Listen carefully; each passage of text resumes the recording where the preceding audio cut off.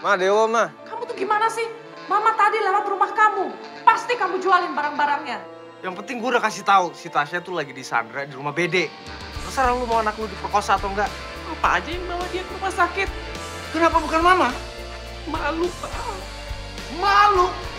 Aku janji sama papa, aku gak akan lagi-lagi Pak. Aku kapok, Pak. Mau lihat aku Pak!